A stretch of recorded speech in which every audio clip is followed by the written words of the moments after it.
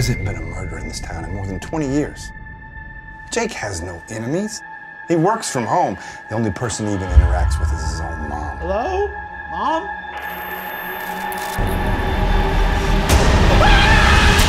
It was the mom. You are doing a podcast. I have a real job to do. I work for the real news. Do yourself a favor, Thaddeus. Start rolling. Stay the hell out of my investigations. You're done. No more podcast. Yes, sir. Yes, sir. What? Yes, sir. The podcast is.